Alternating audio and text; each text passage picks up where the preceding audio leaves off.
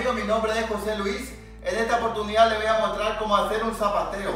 Muy fácil, muy bonito, muy útil para tener en la casa. Bueno amigos, las medidas les voy a dejar al final del video. Manos a la hora. Agarro tres tableros de 35 centímetros de largo con los travesaños de 35 centímetros de largo también. Lo coloco parejo, lo agujereo con la mecha guía, coloco cola y lo atornillo. Limpio la cola. En el otro extremo hago lo mismo. Ahí lo voy a sacar un poquito la mecha guía un poquito más afuera para que me marque el tablerito de abajo. Coloco cola y lo atornillo. Limpio y en el otro extremo hago lo mismo. Parejo, agujereo con la mecha guía, coloco cola y lo atornillo. Lo mido cruzado, que me tiene que dar la misma medida para que me quede en escuadra. Coloco cola al tablero que iría en el centro. Lo centro, agujereo con la mecha guía de 3 milímetros y lo atornillo. Ahí vuelvo a ver a verificar la medida para, que, para ver si está en escuadra y lo agujereo con la mecha guía y lo coloco el segundo tornillo. De esa forma no se movería la escuadra. Ahí le coloco el listoncito del medio, centrado, lo marco con la virome, un puntito, agujereo con la mecha guía, coloco cola y lo atornillo. Ese que sería también, de, dicho sea de paso, el soporte para el estante del zapatero. Ahí lo verifico la medida. Ahí yo le muestro que ya tengo armado el otro costado.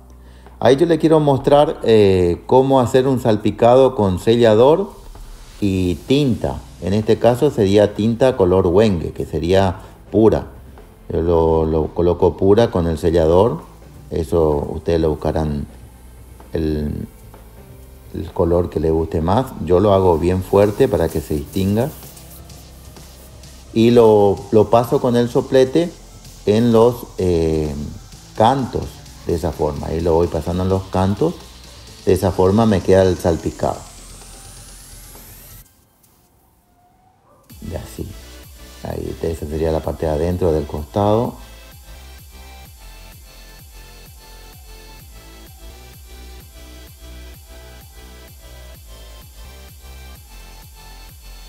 Eso espero que seque y lo, lo giro después. Este que sería el fondo, también siempre tirándole en los, en los cantos nada más. De esa forma se, se le salpica. Y ahí empiezo a armar. Lo coloqué parejo. Agujereo con la mecha y el atornillo. Ahora coloco parejo el otro extremo y lo atornillo. A las piezas esas, después de haberle hecho el salpicado con la tinta, yo limpié el soplete y lo preparé sellador con el diluyente, que sería este Tisner, el sellador natural, y lo volví a pasar eh, también una mano en las partes donde no le salpiqué con tinta. Entonces me queda todo uniforme eh, con un sellador.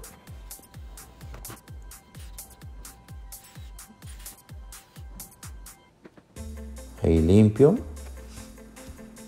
y coloco la esa que sería la, la tapa la parte de arriba que tiene más espesor ese tablero.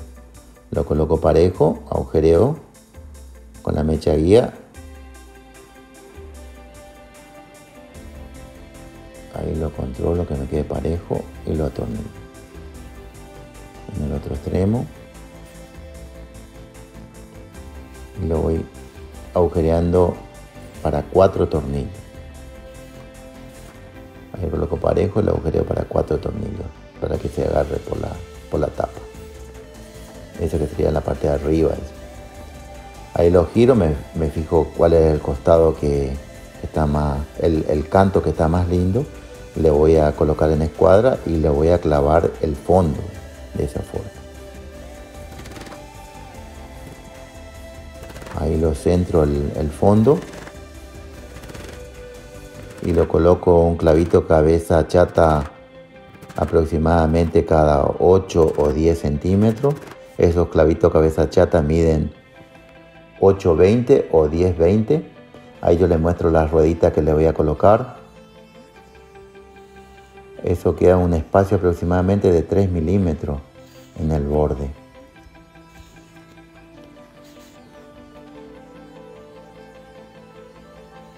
Ahí también. Ahí lo, lo coloco parejo y lo coloco los tornillos. Lo que sí le, doy un consejo, que si ustedes usan eh, ese pino que yo estoy usando, es el pino más blando, el Taeda. Ese no es necesario cuando es cortito el tornillo eh, agujerearle con la mecha guía. Y ahí está listo. Bueno amigos, el zapatero está listo. Algunos detalles que le quiero decir. Yo le pasé, ahí como ustedes ven en el, en el video, con soplete, que le pasé eh, sellador eh, con tinta Wenge. De esa forma. Primero marcándole el, las esquinas sería más oscuro.